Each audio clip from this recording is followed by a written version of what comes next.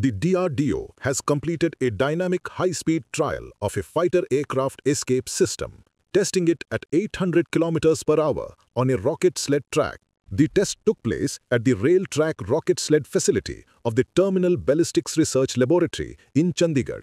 The evaluation validated three crucial safety features, canopy severance, ejection sequencing, and complete aircrew recovery. This success places India among a small group of nations capable of running such advanced tests in-house. The Defense Minister's office announced the test's success on X. They wrote, Defense Research and Development Organization DRDO has successfully conducted a high-speed rocket sled test of fighter aircraft escape system at precisely controlled velocity of 800 km per hour validating canopy severance, ejection sequencing, and complete aircrew recovery at Rail Track Rocket Sled Facility of the Terminal Ballistics Research Laboratory, TBRL, Chandigarh.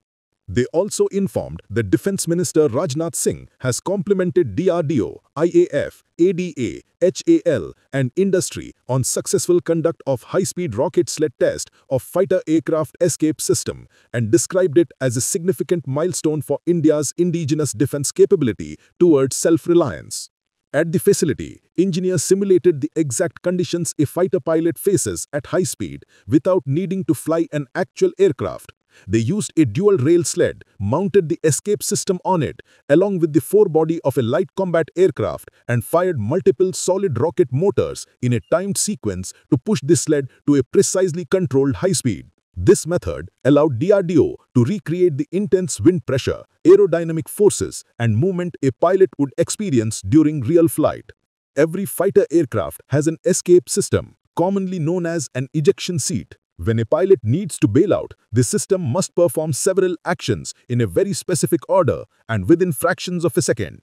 Before the seat ejects, the cockpit canopy must break or separate cleanly. This is done using explosive cords or a cutting mechanism built into the canopy. Any failure here can be fatal because the pilot may collide with the canopy during ejection. After the canopy clears, rockets in the ejection seat fire and push the pilot away from the aircraft at the correct angle and speed. The timing is crucial.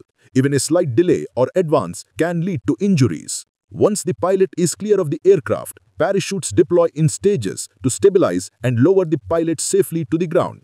Sensors monitor forces like acceleration, spin, and impact loads. To check all this, DRDO used an instrumented anthropomorphic test dummy designed to mimic human body responses. It recorded forces, pressures, jerks and accelerations that an ejected pilot would face. Onboard and ground-based cameras filmed the entire sequence frame by frame.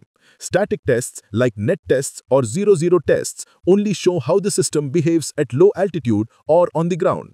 But real ejections often happen at high speeds. The airflow can tear parachutes, destabilize the seat, or damage the canopy.